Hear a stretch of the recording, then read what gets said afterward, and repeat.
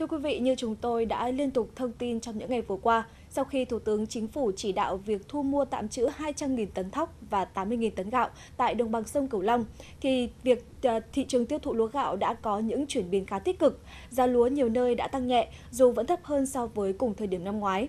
Cũng cần phải nhấn mạnh rằng, khó khăn có tính thời điểm hiện nay xuất phát từ những biến động của các thị trường nhập khẩu gạo truyền thống như Trung Quốc, Philippines vào đầu năm. Từ thực tế này, một lần nữa, vấn đề đa dạng hóa thị trường xuất khẩu gạo của Việt Nam đặt ra hết sức cấp bách.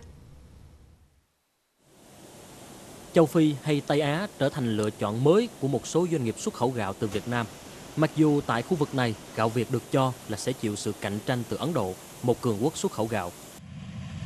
Giá cả thay đổi bởi những biến động của thị trường thế giới là điều không thể tránh khỏi khi lúa gạo Việt Nam tham gia thương mại toàn cầu.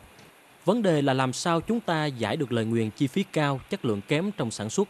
Muốn vậy, các doanh nghiệp phải tổ chức liên kết với nông dân thông qua các mô hình tổ hợp tác, hợp tác xã để giảm giá thành, kiểm soát chất lượng hàng hóa, đa dạng hóa sản phẩm lúa gạo.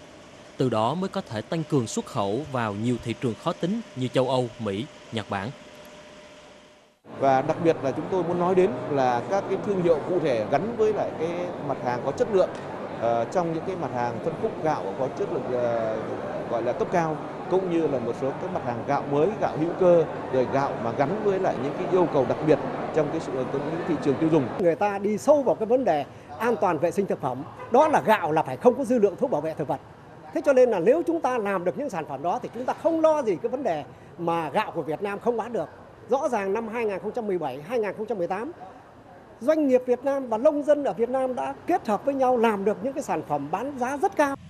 Năm ngoái, Việt Nam đã chuyển đổi được cơ cấu giống trong sản xuất lúa.